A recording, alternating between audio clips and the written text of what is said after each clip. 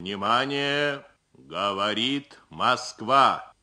Сегодня в 4 часа утра, без всякого объявления войны, германские вооруженные силы атаковали границы Советского Союза.